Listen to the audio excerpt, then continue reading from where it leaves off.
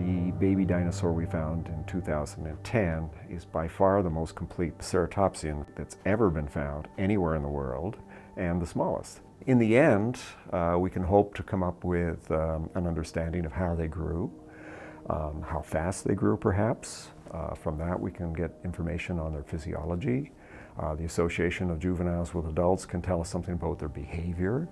We can take the information on a species now like this one, Chasmosaurus, and we can say we would expect the same kind of variation to happen in other groups of dinosaurs or other closely related forms, things like uh, Centrosaurus or so on.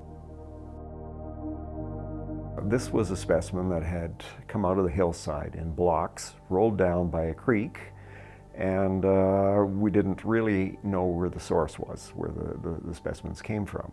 But when the blocks were collected by Phil Bell, when he was working for the, uh, the museum up there at the time, uh, and he took them back and started doing preparation on them, he realized that the little bits of skin impression we could see were in fact um, quite, quite a bit more interesting than, than first appeared. One, two, three.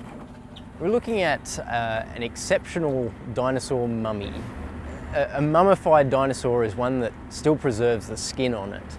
We don't really understand how uh, skin fossilizes. Uh, of course, it's as soft tissue. It's something that readily decays after an animal dies. So that's something that perhaps this data will, will help us answer.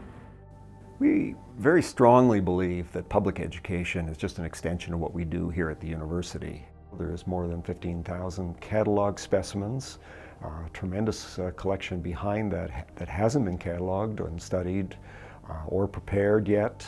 We very much like to uh, show our treasures. We, in a way, I guess we're showing off as well because we are very excited about uh, these finds and uh, we feel there's a reason other people should as well.